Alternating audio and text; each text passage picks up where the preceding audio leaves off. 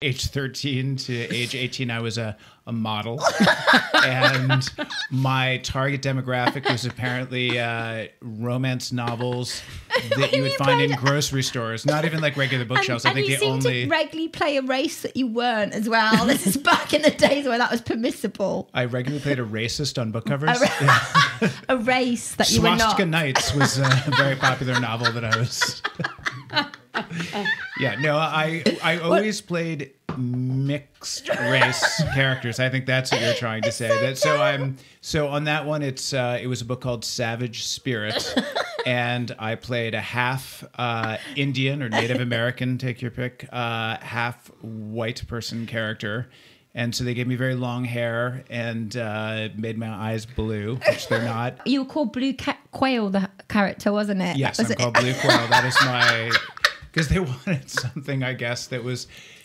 indicative of the blue eyes. I was part settler, but they did want me to sound like a Native American Yeah, or an Indian. quail so and- quail. So yeah, so I, d- I did that one. I did one where I was half Vietnamese. Yeah, that's what was that Uh, called? Child of No, uh, yeah, Child of Blood, where I was the bastard assassin. Uh, because I didn't know who my father I was. am definitely Was buying that, these was books. that a um? And then there was one where you were an alien. That's normal. Yes, I, totally I normal. was an alien. I'm not sure what. Mixed race uh, alien. I think I was from Gorzon 5, but also from Yalin. so oh. both planets were represented.